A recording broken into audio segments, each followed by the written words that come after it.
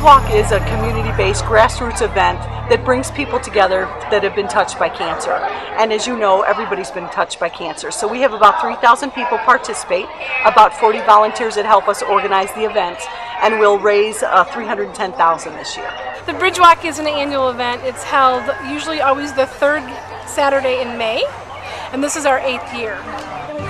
This event is one of our two events during the year that helps raise money for Living Well Cancer Resource Center because we receive no state or federal funding. So everything we rely on is donations from the community, from businesses and grants, and so this is one of our two big events to bring in the funds. Living Well is a soft place to fall for people with cancer. Um, you know, uh, we have a very soft environment. It feels like home on purpose because we know cancer patients see a lot of infusion centers. They're in chemo chairs for long periods of time. They're getting radiation, and it's a medical facility. So on purpose, our center's built like a home.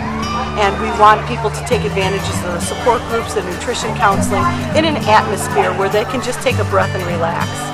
We have uh, 60 plus programs and services from counseling, culinary classes to art to um, yoga, massage, facials, and these are all things to help cancer patients and their families heal. You do not have to have cancer to come there. You have to have been touched by cancer, and it's just a very healing place um, where uh, you see very friendly faces. So. We're here to provide psychosocial support services to cancer patients and let them know that we're going to walk with them on their journey with cancer and that they're not alone. People get involved with the Bridge Walk many ways. Many of them heard about it. We reach out to schools in, the, in our community. Um, our participants who participate in our programs learn about it. They talk to their family and friends, and it just keeps growing bigger and bigger every year.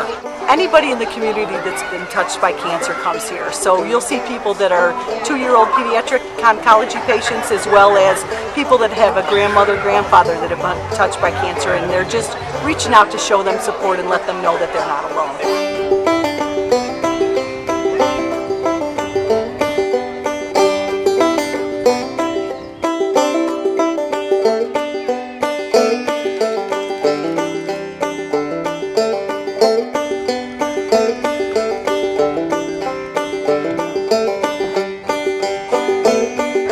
Grown at a rate of 45% every year and being able to be in the community, reaching out to cancer patients and helping them know that they're not alone and walk with them is just critical to our mission. So uh, we grow every year at at least 25% and we'll continue to do that and I think our next steps is having other satellites for Living Well within other communities as our footprint enlarges.